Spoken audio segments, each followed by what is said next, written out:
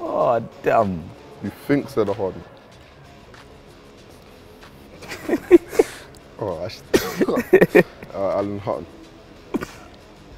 Because, like, he obviously he is hard and stuff like that, but there is harder people in uh, the squad than him, so.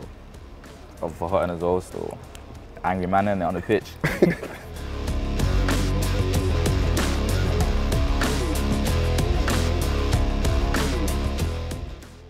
um, Albert. He's, it's not like, it's not awful, but it's just not my type of stuff. Got Albert as well, same reason, not, not the is he?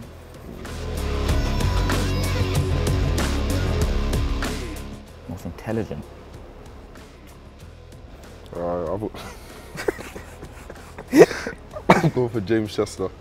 I just like, he's the captain, so it's just, and I'm around him a lot, so he just seems intelligent, so yeah. I'm for Jed. I, I don't know. I don't know. Just, just he seems intelligent. I don't know. He seems smart. I not too sure.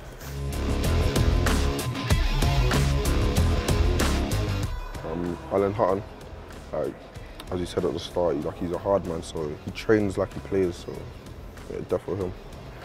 Um, Conor Hourihane trains trains very hard. Trains how he plays really.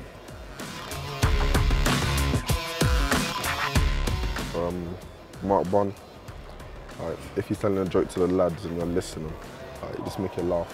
So yeah. Yeah, I got Bonnie as well. He's just funny. He's just funny. Proper gaze, ain't he?